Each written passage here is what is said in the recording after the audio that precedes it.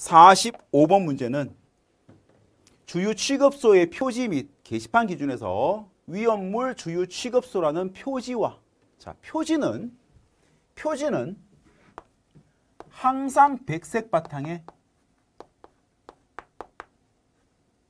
흑색 문자로 합니다.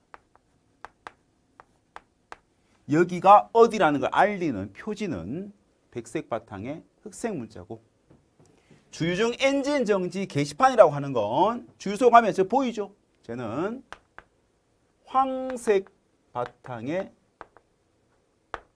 흑색 문자로 표시를 하죠. 그래서 문제가 이 두 가지의 바탕색을 차례대로 나타낸 것은 표지는 백색이고요. 게시판은 황색입니다. 답은 2번이 답이 되는 것이죠.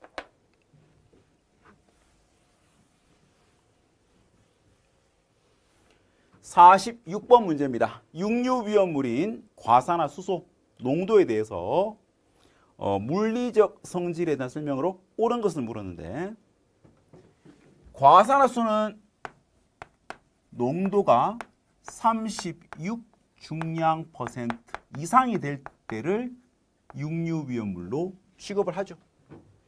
근데 농도가 높을수록 그만큼 위험하기 때문에 위험물로 규정을 한다는 얘기입니다.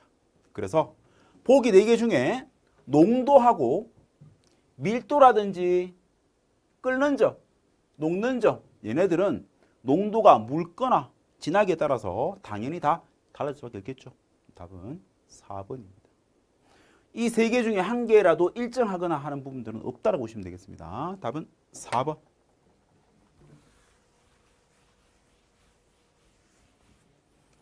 47번 문제입니다. 자, 트리 니트로 페놀의 성질에 대해서 틀린 거 물었습니다. 자, 이 물질은 제5류 위험물의 품명은 니트로 화합물이고 지정 수량은 200kg인 물질이며 구조식을 써보면 벤젠에 OH 붙은 거 얘가 바로 페놀이죠. 여기다가 니트로기를 3개 붙여주게 되면 트리 니트로 페놀 다른 말로 피크린산 이렇게도 부르죠. 자, 이 물질입니다. 고체 상태 물질이고요. 자, 1번 보니까 폭발에 대비하여 철, 구리로 만든 용기에 저장한다.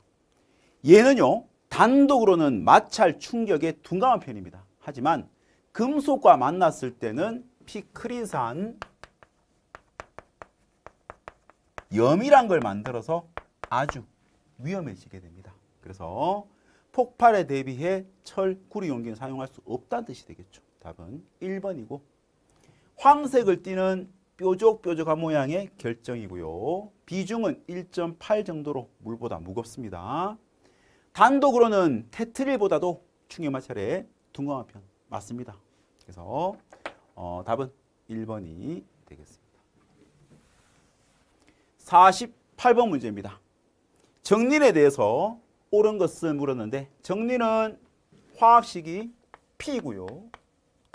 제 2류 위험물입니다. 적색인이란 뜻이죠. 가연성 고체이기 때문에 1번에 발화 방지를 위해서 염소산 칼륨. 자, 2류 위험물은 가연성 고체입니다. 그리고 이와 같은 1류 위험물은 산소 공급원입니다. 가연물과 산소 공급원은 함께 보관하면 안 되죠. 위험해집니다. 그래서 틀렸고 물과 만났을 때 격렬히 반응해서 열을 발생한다. 정리는 물과 반응하지 않습니다. 물에 안 녹습니다. 공기 중 방치하면 자연발한다. 자연발화는 황린의 성질이고요. 다음에 산화제, 즉 산소 공급원과 혼합하게 되면 점화원이죠. 마찰, 충격 등에서 발화할 수 있다. 당연한 얘기입니다. 답은 4번이죠.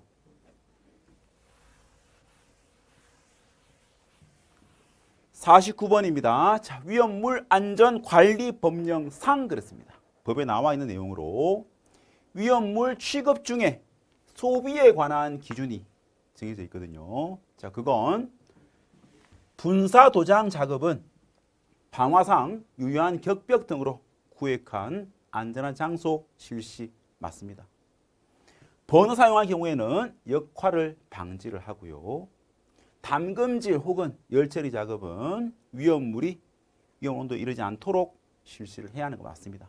근데 3번도 보면 규격 용기를 사용하는 것도 옳은 말이겠지만 법상에 명시가 돼 있는 부분이 아니라는 것 때문에 답은 3번이 되는 겁니다.